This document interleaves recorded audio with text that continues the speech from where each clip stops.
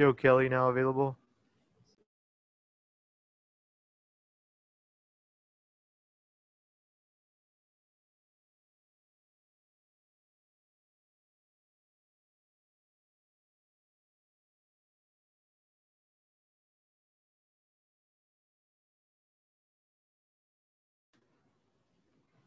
Can't hear.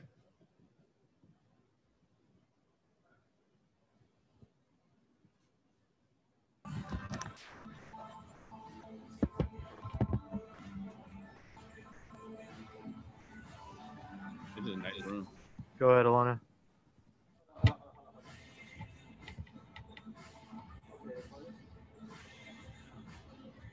Joe, how much of a challenge was that for you, particularly in the ninth? And if you can just kind of walk me through what it feels like going from traffic on the bases to locking it down.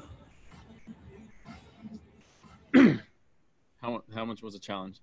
Obviously, it was a it was a big challenge. Um, you know, coming into that game, um, obviously it's not how it was it was planned. Um, we ended up getting the win, but you know there was runner on second base.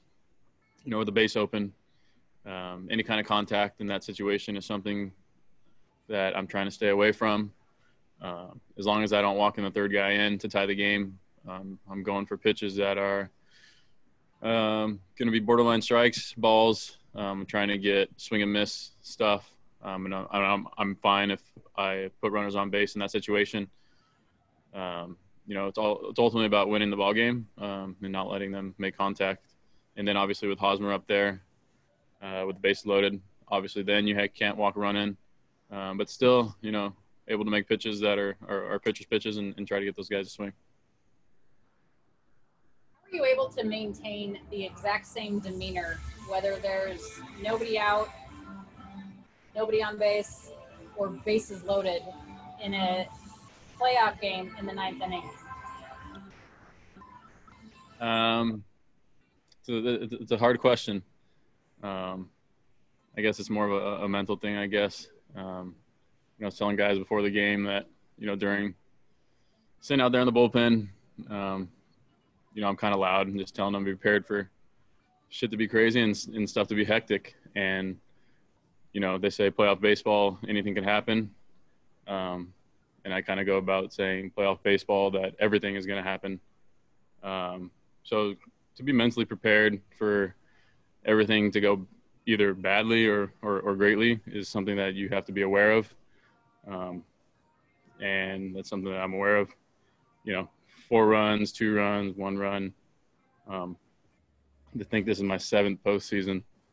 Um, so I've had a lot of times, uh, a lot of outings, you know, from starting to relieving um, in the postseason. So it's definitely helped me, um, you know, with the game intensity, um, just because I've had practice with it. But you know, it's one of those things that um, when the postseason comes, you know, being okay with it going to be a crazy game, I think that's already half the battle. Finally, for me, Joe, how much do you draw on that previous postseason experience to help you get through any situation that arises here in 2020 in these playoffs? Yeah, I think, like I said, just having the experience of of being in different ones, you know, from you know first couple of postseasons where I had a chance to make the World Series and lose, you know, from you know a couple years back where I happened to be on the the right side of things and and, and win one, and then you know I've had success and I've had some some non-success um, in the playoffs, but um, I think it's all the the the outings put together. Um, you know, that's what that's what gives me some peace and comfort knowing that you know I've done it you know numerous times um, so it's not going to be anything sneaking up on me mentally um, so you know just try to go out there and, and, and keep having fun because baseball's fun and uh, even if there's no fans that, that's still fun getting wins like that Appreciate your time. Good luck to you. Thank you. Thanks Next question is from Dave Vassegh. Go ahead. turn that off bro Go ahead, Vassay. hey that alarm's loud Hey, Joe, uh, in a game like tonight, what's the, I agree, alarm's too loud. Uh, 30 pitches last night for Kenley, and he's probably down tonight. How did the dynamics change for you guys in the bullpen in that ninth inning? Will Will Dave give you an idea of what's expected, or do you just have to be ready? Um, yeah, Kenley's thrown a, a, quite a bit the past past couple days. Um, the good thing for us is that, you know, we have a lot of guys in that bullpen. You know, arguably every single one of those guys, um, even if they don't have saves, are pretty much all closers. Um, so it will just be based off matchups. Um, we're all aware of, of, of the the game and, and what's going to happen um, for us as a pen. I mean, from pitch one, you know, everyone's pretty much locked in. So um, it's postseason baseball. Like I said, every, everything can happen. So you know, anywhere from our closer to our long guy to our you know our lefty guy, our righty guy, um, we're all ready to go pitch one. So it's not going to be anything different. That they're going to tell us to warm up. They're going to tell us to go in the game, and we're going to go do our jobs. Joe, uh, that team that you were part of in 18 with the Red Sox, the everlasting image will be the entire bullpen cheering on Chris Sale going through the bullpen gates. Do you feel like you're getting close to that type of bullpen with the Dodgers as far as the chemistry and what it takes to be a championship bullpen? Oh, we we we have a great bullpen here, and and the chemistry has been there since day one. You know, we've we have so many talented arms down there, um, and I think we've been showing that the whole season. You know, obviously it was only 60 games, um, but the the confidence that I have in this bullpen, um, and I've said it before and I'll say it again. Um, I've said it throughout the year. Uh, this is the best bullpen I've ever been a part of. Um, and like I said, I have a World Series ring. Um, you know, when you could run out, you know, anywhere from I don't even know how many guys we got down there right now. Pretty much every single guy down there. Um, you know, at any part, any situation, and, and their numbers are either from a zero ERA to a two ERA. It's, it's, it's pretty damn good. And um, like I said, it's it's one of those things that are very special, and and and we know as a team, um, you know, we have great offense, great starters, great defense. Um, and now we have a great bullpen. So we know as a team, um, for us moving forward, that you know we're going to be a big part of this, and, and we have to be locked in.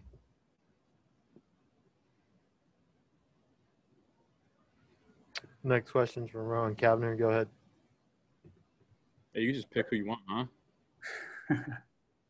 Thanks, Juan. Uh, just uh, how strange has it been to be playing kind of, you know, you're playing home games in Texas while watching um, you know, American League games that are that are being played with the home team at Dodger Stadium. Just how strange this whole kind of setup been. It's been it's been awkward.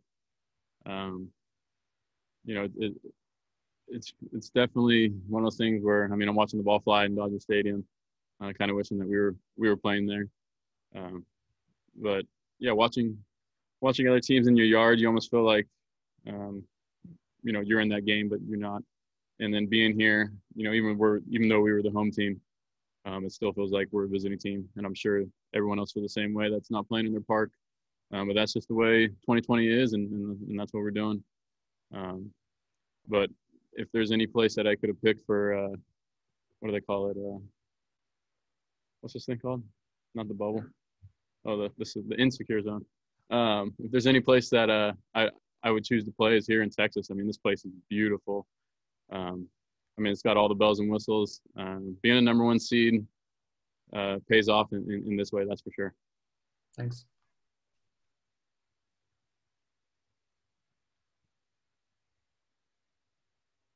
Next question's from Bill Plunkett. Go ahead. And Joe, we haven't had a chance to talk to him in a couple of weeks. How is Kenley Jansen handling his individual struggles and the possibility that he won't be the ninth inning guy going forward. Exactly like everyone else struggles in this game. Um, we pick each other up here, which is great. Kenley's my catch partner. Um, he's my locker mate, and you know we have some good conversations. And uh, there's there's some times where you know he needs a little bit of a kick in the butt, but um, there's some times where you know everyone needs to be picked up. And right now, um, Kenley knows you know, we all want a ring, and that's all we're looking forward to. So it doesn't matter who's pitching, um, as long as the guys out there and, and and we know, you know, that's the best part about this team is that, you know, I go out there and there's literally almost nothing to lose because I know that there's a guy behind me who could do the job just as good as me, or if the matchup comes up, even better. Um, you know, I was joking with Walker the other day. I said, "Man, I'd still be a starting pitcher if I had this bullpen like you could go out there and if guys get on, you know they're not coming in. Um, so Kenley knows that, and, and Kenley's taking it well. Um, obviously, he doesn't like underperforming, uh, but he's he's he's mentally tough guy. Um, like I said, he's my locker mate. He's my catch partner. Um, you know, his numbers still are, are, showing good numbers. You know, I'm not talking about velocity. I'm talking about other other stats on it. Um, I play catch with him. You know, things have been have going well, and and you know we just we pick each other up, and that's what you know championship teams do. Um, it's not like he's sitting around in his locker right now pouting. Um, so he, he, he's fine. He know he knows the deal, and and he knows that we have so many good players on this team, and and and that's all. It's all right. It's not like he he's going to be like, hey, I'm not going to pitch if I don't pitch a ninth. He's a, he's a good teammate, um, and like I said, he's he's taking it like a man, and, and he knows he hasn't thrown the ball his best. Um, but whenever we need him, he's going to be right there for us. Thanks. You got one more question. Go ahead, Jorge. Hey Joe, uh, you were part of that in 18. You guys went on to went on the World Series, obviously, but you did it after Craig Kimbrel struggled for a bit and pivoted away from him in the ninth inning, and you guys kind of had a bullpen by committee in a way. Just wondering what you learned from that experience and what the value is of set roles, especially in the postseason. Uh, yeah, I, I saw it firsthand, and, and I don't know off the top of my head, but you know, I remember watching last year's postseason and even postseason before. Um, it's not the harp on on on the actual name of the title of the closer. I think when it's time for the postseason, you know, every inning's a closing opportunity. Every run's big. Every hit's big. Um, so I think that that that mentality kind of goes out the window. Um, you know, with Kimbrel, we have we had a lot of guys throwing big spots. Um, just because it's it's not a save doesn't mean it's not a big spot. Um, but you know, last year's team who, who won the World Series and Nationals, you know, they had designated closer. Some I forget the forget who was throwing. I think Hudson maybe. Um, you know, he became a closer. Um, year before it was Sale. Sale ended the game. Um, there's always starting pitchers and, and, guys who, who show up in the playoffs that you know are hot, and you just ride the hot hand. Um, so I think you know past three or four even World Series teams, um, there was different guys on the mound at the end. Um, but like I said, I think that every spot in the postseason is if there's runners on base and there's a chance for them to strike. Um, I think that every spot is, is, is, is, a safe situation, even though it doesn't have that number. Um, and that's what we understand here is, is every spot's big and, you know, with, with every runner or every hit or, you know, our bullpen's focused on, you know, getting out of that inning with obviously no damage. Um, but the actual designated role of, of closer, you know, obviously Kenley's an amazing pitcher, and like I said, Kenley knows that he's going to be needed in huge spots, and the other guys are going to be needed in huge spots, and it's not like he's going to be pouting, um, knowing that it's not just his designated role. Um, but you know, we have, like I said, I don't know how many guys we have in that pen. Um, I mean, we have at least 11, 12, 13, whatever it is, 13 closers. So that's, that's part of it. Uh, lastly, for me, uh, you hadn't pitched like in 10 days before last night. How, how were you staying fresh? What were you doing in those nine, 10 days? Um, I mean, I was staying fresh. I, I, was I was a little rusty, that's for sure. Um, there's there's not much you can do. You just go out there and do it. Um, there's no excuses. I mean, mechanics felt fine. Might have been a little bit off, um, but that's what happens. You know, there's that's the last thing kind of myself as a pitcher think of.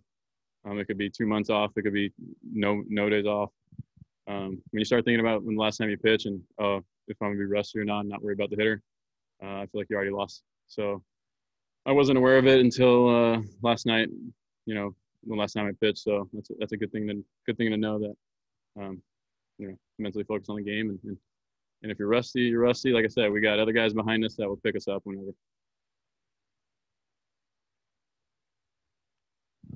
Thanks, Joe. Thanks, everybody.